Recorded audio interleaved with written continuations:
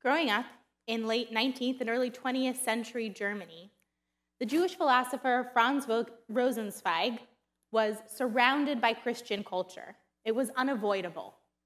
So much so that a lot of middle class, nominally observant Jewish families, like the one that Rosenzweig grew up in, were considering converting to Christianity. They just didn't think that Judaism held much meaning for them. And if society saw them as Christian, they were much more likely to get ahead. They wouldn't be so discriminated against. There would be more room for them to improve their lot in life. They could join the most popular clubs. Some of Rosenzweig's cousins, and even some academic colleagues, had converted to Christianity. And in the summer of 1913, they were encouraging him to do the same. Rosenzweig told them that he would consider conversion, but first he needed to dig into Judaism to make sure he understood what he was giving up. Beginning with the new Jewish year, Rosenzweig devoted himself to the process of the Yamim Noraim, the days of awe.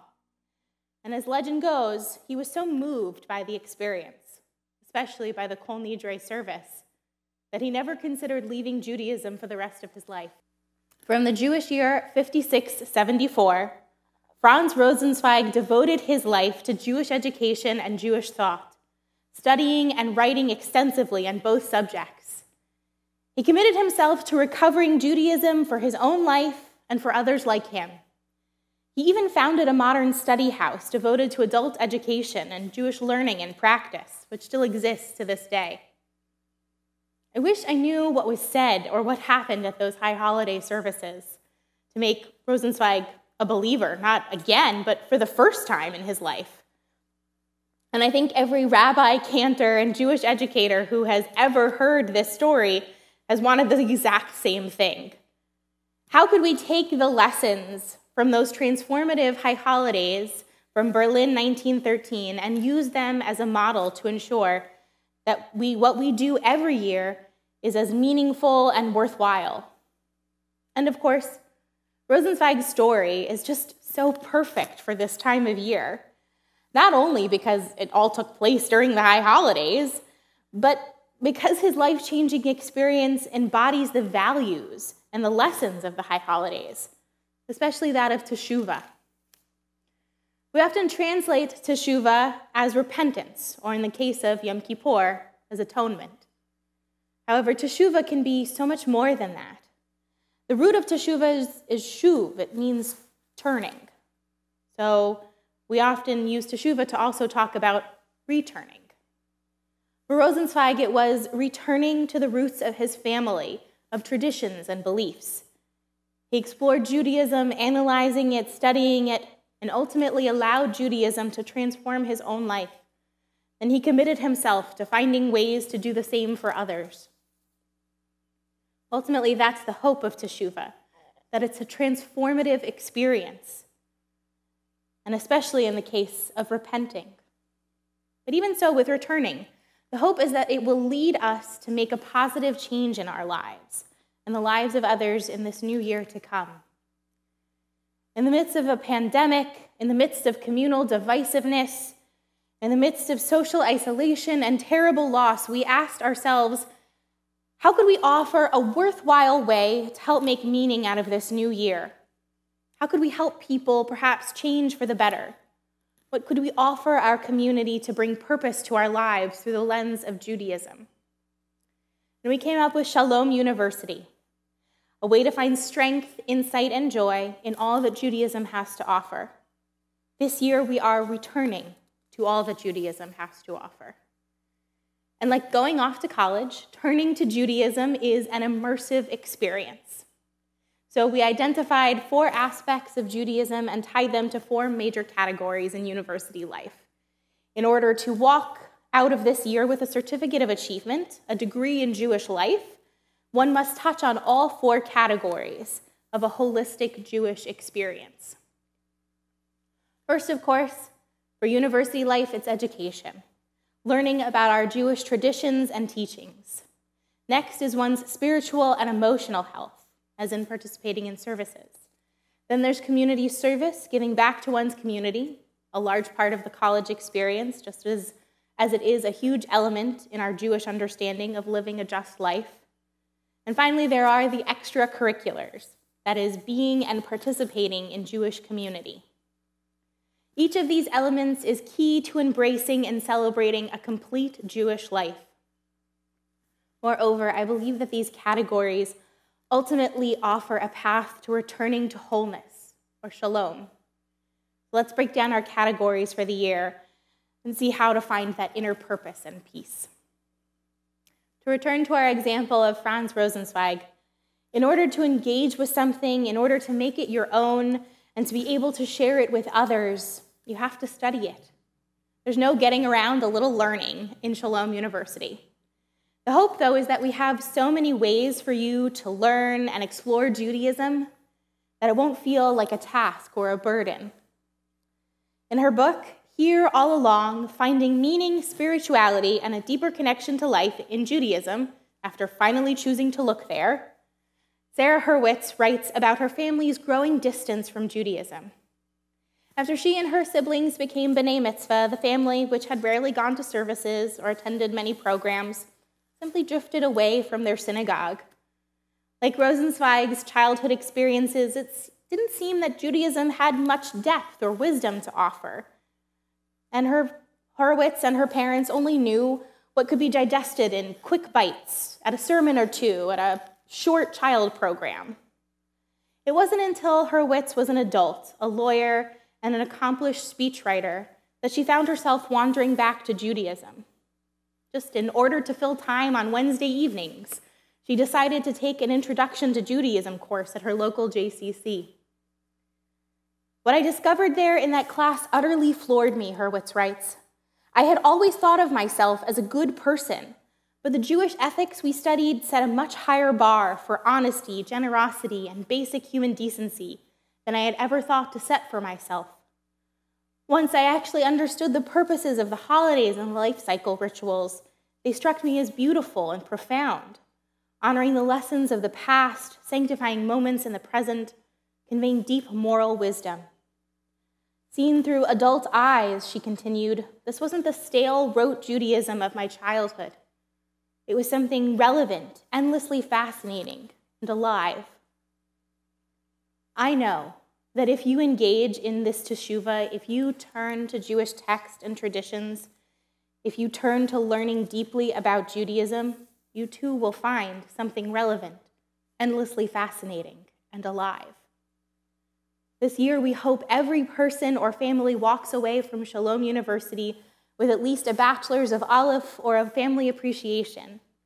And we hope that there is at least one, if not many, pathways into learning that appeal to you in order to do so whether through family camps, at the religious school, our adult education courses, through the adult music experience lectures, or perhaps our weekly Torah study at Shabbat edition, there are so many ways to study and learn about your Judaism.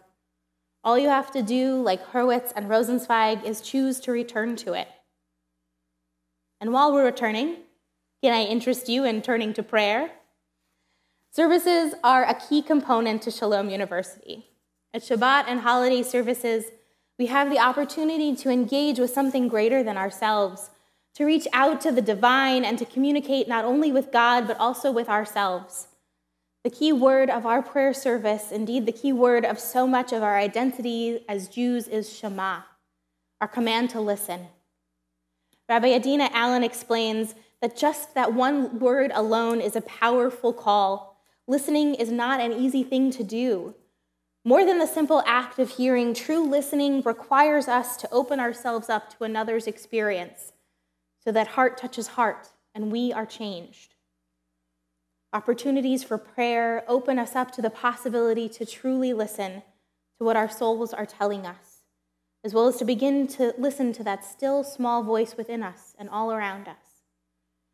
Engaging in prayer should leave us, our relationship to ourselves, our relationship to our communities and our families, our relationship to God even transformed. And our lives and the day to day demands of our time and focus are growing ever more complicated. This past year left us with so much to reflect on. And I think it is fair to say that there will be much more to consider in 5781 Turning to prayer gives us the time and space to listen, in the hopes that listening can lead to real change and growth, the true mark of teshuvah. Return to prayer as a part of your practice in Shalom University, and the hope is that this will be an integral step in finding a sense of shalom. Our university system would be incomplete without considering town and gown relations, as they say and turning to the world around us. And so too with Judaism. Throughout the Bible and the Torah, the prophets, the Psalms, and other writings, we are urged to live an upright and just life. It means we have a responsibility to ourselves, to our families, and our surrounding communities to create as righteous and just a society as possible. Tomorrow morning in our Haftorah reading, we will hear the words of the prophet Isaiah Isaiah watches the people's preparations for the Day of Atonement, and God asks, Is this the fast I desire? A day for people to starve their bodies? Is it bowing the head like a bulrush and lying in sackcloth and ashes? And the prophet continues and then explains how to create a more just society, and indeed what must be included not just on the Day of Atonement, but all days. No, this is the fast I desire to unlock the fetters of wickedness and untie the cords of the yoke, to let the oppressed go free. It is to share your bread with the hungry and to take the wretched poor into your home. When you see the naked, to clothe him, and do not ignore your own kin. The lesson of this exhortation is that our prayer, our fasting, our repentance is incomplete unless we make sure to care for the most vulnerable in our midst. And the thing is, there's teshuva in this too. We need to turn outward to see the needs of our community. We need to turn towards the hurt and pain in our own SHM family, our just society, our more peaceful, more meaningful world that we're trying to create with Shalom University asks that we make a commitment to caring for the world around us. And so you may want to do your part by joining Chesed, our caring committee so you can make meals for grieving families or send cards to going, going to someone through a difficult time. Other people may want to join our Tikkun Olam committee called Shemesh and commit to healing the world on a more far reaching scale by participating in a Sharing Healthy Meals program to fight food insecurity, help students learn to love books and words with reading partners. Perhaps you want to we want to help families living in our own Orange County living on the edge with our Jessica Heron caring and sharing drives throughout the year. There are numerous ways to fulfill our obligation to protect and nurture our community. And so we turn to these opportunities in the hopes of creating more wholeness out in the world, and so too to create more wholeness inside ourselves. Lastly, for a university experience to be holistic and immersive, there has to be extracurriculars. There has to be community involvement. And so we hope that you join a chavurah this year if you don't already belong to one. Or maybe you want to invest in more quality time with the one you belong to now. Maybe you want to pledge our Nashim sorority or the Brotherhood fraternity. You can sing in the equivalent of a college glee club with our choirs, both virtually and hopefully someday soon in person. There are so many ways to be a part of this community, to get the full Shalom University experience. And in many ways, I believe this is the most important part of any of our degrees this year. I love learning. I love classes and education. I'm a rabbi. Rabbi means my teacher. So I'd love to tell you that the courses in Shalom University are the most important part. But I know that that's not true. I know that the most important part of Judaism is living in community with one another. Like Franz Rosenzweig and Sarah Hurwitz, I also didn't grow up in an observant Jewish family. My Jewish relatives had a passing connection to Judaism at most. Our Judaism was about gathering together for holiday meals, an appreciation for Seinfeld, and a love of good bagels and deli.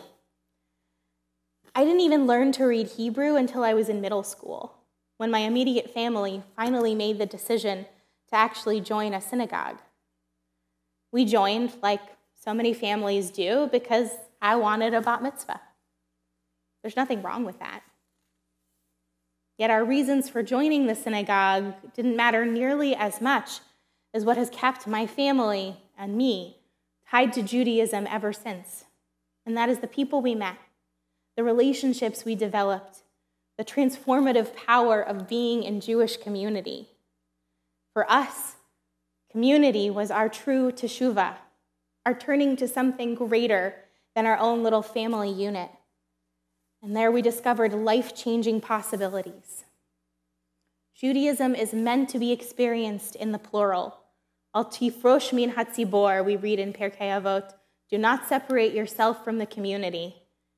In Judaism, we study in Havruta in pairs because our minds are both stronger and sharper and also more considerate and nuanced when working together. In prayer, when we rise for the Amidah, we pray to the God of our ancestors. When we conclude our services, we say the Aleinu, stating that it is our responsibility to bring wholeness to the world. And we gather together a minyan, a group of at least 10 Jewish adults, to ensure that we can properly mourn our loved ones. This year, I want to urge you to not just turn to your faith and traditions, but turn to ours.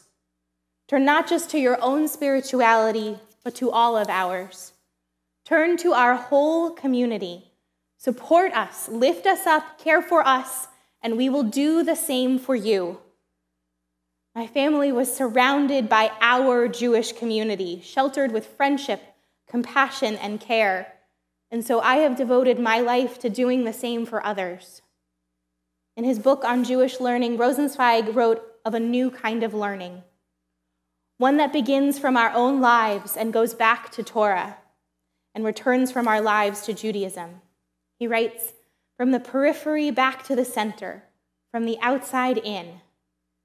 Whether you feel you are sitting on the periphery or are already at the center, there is room for you here to bring yourself to Torah and Judaism, to bring yourself to Shalom University this year.